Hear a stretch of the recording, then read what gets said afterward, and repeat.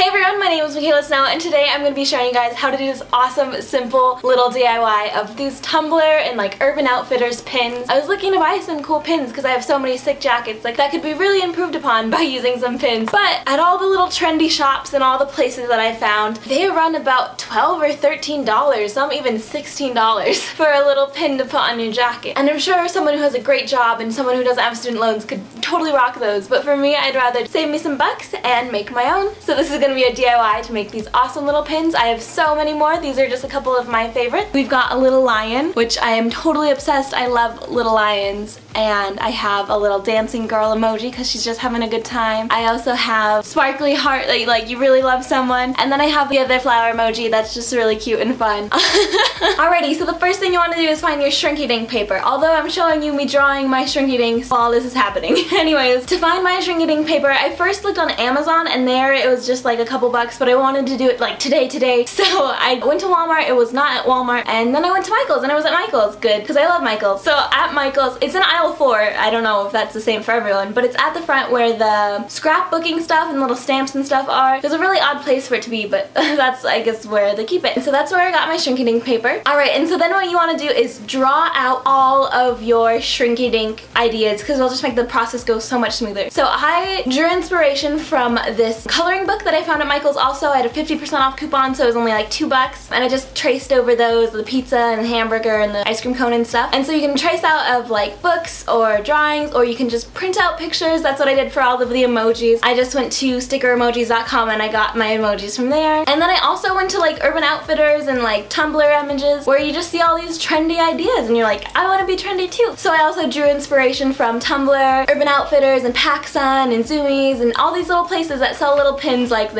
And I was very inspired by them. I use, and so that's basically it. So you just want to draw everything, anything you can think of. Mine were a lot of things that already exist in the world, but you can also just draw out your own creations. And I also wanted to do a Zia symbol, but I just lost track of time because I want to get this video out as soon as I can since I've been slacking so hard on making videos, just like with work and everything going on. It's hard, but you know, I love you guys and I love making videos, so I want to try my best to continue that. I forgot something again with the drawing. so for my drawings, I did Sharpie black on one side to outline it, but then I flipped over the Shrinky Dink and colored it in, and so that made it so I could color and touch the black, but my pen wouldn't bleed into the black and like smear it everywhere, and so that was really nice, so I could just have like a nice little whoosh whoosh whoosh and not worry about getting black everywhere or mixing colors or anything. Alrighty guys, so the next thing you want to do is cut out all of your little shapes from your Shrinky Dink paper, and that sounds pretty easy, but it's kind of awkward because you don't want to snip with the edges on the paper because it'll create this like little cratery dot and it'll like spread cracks. So you really want to make sure you're like cutting over here like you would wrapping paper to get those nice edges so it's not too bad. And really it's not too important that everything's perfect, you know? So just try to cut all those out and it's really okay. You could even just do like little squares if you don't want to have to do all the intricate little things doing every little shape. But it's easy once they're like that big size. So it's, it's really up to your judgment, whatever you'd like to do, however you'd like to cut them out. Alrighty, so now that everything's cut out and you're all done and you have it exactly how you want it, you're gonna want to place them out into a little sheet pan. I just use like a little regular cooking pan that would fit in my convection bake oven. A little one that kind of looks like a little microwave but it's an oven because I don't want to have to heat up the whole oven just for these little plastic things. So I just followed the directions that came on my Shrinky Dink package and mine said to do my oven at 325 degrees Fahrenheit and then to cook them in there for three minutes. So that's what I did. I was really worried of them like shrinkling up and touching each other so I found that I just wanted to do four in each pan because that's kind of how they fit perfectly since my designs were like a 3x3 kind of size. and so I placed four of them in a pan and I stuck it in the oven for three minutes. Be sure to watch them to make sure that they're doing okay, that they're not I don't know, having a party without you. so just stick them in the oven and let them be for three minutes and then get your oven mitt and grab those puppies out. So right after you grab them out of the oven, you want to squish them down with something that won't burn your hands. So I just used like a little notebook that I had on the table and squished them down to make sure they weren't like like this. Because one of them came out like this. I made a monkey that looked like this and I didn't end up keeping him because he was curved like this. Also he's purple. and so you want to flatten those out to make sure they're all good and perfect.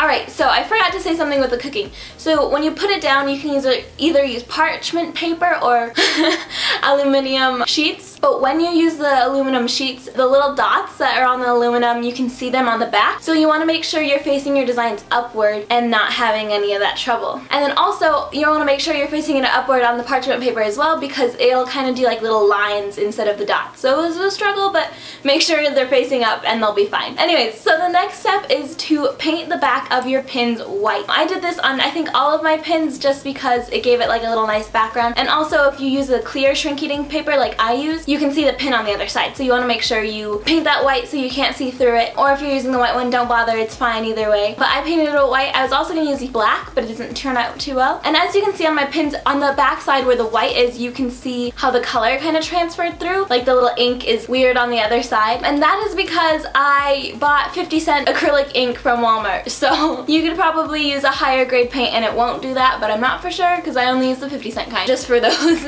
but you could also paint like black on the back, pink on the back, whatever you want to do on the back. I also did yellow nail polish on the emojis that I did, but I didn't really like how those turned out. So I didn't, I'm not wearing them, but that's whatever. Anyways, so these are my holo pins and I absolutely adore this guy right here, this little unicorn. He's really cute. And so I did the same for these guys except for I just covered the front of them in holo nail polish to save them because they wouldn't have looked this rad without it. And I mean, holo just makes everything better. what step are we at? Oh, the pins, the pins, the pins. So you can use whatever kind of backings you'd like. You could even just hot glue these suckers right onto a jean jacket if you feel. I don't know if that'd stick, but it's possible. so here I'm just hot gluing my little pin backs to the back of the pins. And so I just put a little hot glue on the back of the little pokey part, stuck it on the bottom, held it down with my fingers. Be careful, don't burn yourself if you're using hot glue. I just held it down until it was dry and I kind of stuck the pin back on there. I noticed on thicker fabrics the pins work a lot better. Like this one had no problem with the pin. But things like this really thin camo, I had to kind of like put tape in there and wrap it around the pokey part and then like stick the pin on the thing just because it was like thicker so it held better. But do whatever you find and it's all just a learning experience for all of us. I want to thank you guys so much for watching this video. If you enjoyed, please be sure to leave a like and subscribe. Also, if you guys decide to make these pins or do like little belated Christmas gifts to any of your friends at school or anything, be sure to send me pictures, post them on Instagram, and tag me at mikayla.snow so I can see your guys' creations and I could like them up and reply and comment to you guys. Because I just love seeing something that I've helped inspired. Like, I've pulled this idea down from the internet and I'm pulling it to myself and then I'm pulling it to you and we could just all have really cool Tumblr pins. Isn't that the whole point of the internet? Sharing and creating even if it's the same idea. Anyways guys, I hope you guys are having an absolutely amazing day. I love you so much and I'll see you later. Bye. Oh, oh, no, was that there the whole time? Alrighty, so these ones I have on my army, like kind of like jackety thing. I got this jacket from Forever 21, which will be a common theme. The one I have on this jacket is the Not Your Babe, the Your Mom pin, a mom pin, and a cute little peach emoji. Alright, so the pins, we've got a little lion, and I have a little dancing girl emoji because she's just having a good time. Sparkly heart, like, like you really love someone. And then I have this cute little flower. And also this jacket is actually, I'm pretty sure it's for my grandma. She was having a garage sale and I snatched it up because it's like a legit jean jacket and it's really antique and just like vintage and I really love it. Alrighty, so on this Marine Air Force jacket that I have from, and it has a cute little donut one that reminds me of like The Simpsons, melting cheese pizza, a little Tabasco bottle that says you're hot. One of my favorites is actually this hamburger. I really like that. I think Christine from Simply Nailogical would really like one of these pins. Oops, my ghost upside down. so these are connected to my dad's old Levi shirts that I've been stealing. Just like the really worn out ones that have a bunch of holes in the sleeves and are just all tangled up and love to do DIYs in. And actually the inspiration for this video was originally going to be doing a bleached jean shirt like this. Can you see it? I got sidetracked by all the fun pins that it kind of turned into not a Tumblr DIY outfit and kind of just into pins and pins and pins. But so I just put a little bleach on this shirt with a little spongy thing and I wrote out be rad not sad because that's something that I kind of, it's kind of like my mantra in a way, but something I just think about all the time to like, you know, life is so short. Like it could end any moment. In two minutes I could be dead. Let's hope I'm not, but I could be. So I just you gotta remember that life's hard, but I mean, we only get one, so why be sad when you can be rad? Anyways, before I start crying over my dumb t-shirt, anyways, another quote that I really wanted to do, maybe I'll do on the next one, is be at peace, not in pieces. That's another one of like my little mantras are saying that I really stick to. you know, because why be in pieces when you can be at peace? Also, I think this is an Ellen DeGeneres quote. I found it. Okay. Why do we only rest in peace? Why don't we live in peace too? If you, I don't know if you can see it. Our little alien that I really messed up. A little alien spaceship with rays of light coming down. A little cactus. A supreme pizza with lots of pizza on it. Because pizza's relatable still, right? Hopefully. what if pizza becomes unrelatable? Also, I tested out doing a top coat of nail polish and I didn't like that result. And also it's peeling. Also, you don't need to wear five of these on a jacket at once. You know, you could wear just one or maybe two. Like, I'm gonna take off this dancing girl since she doesn't really fit my theme.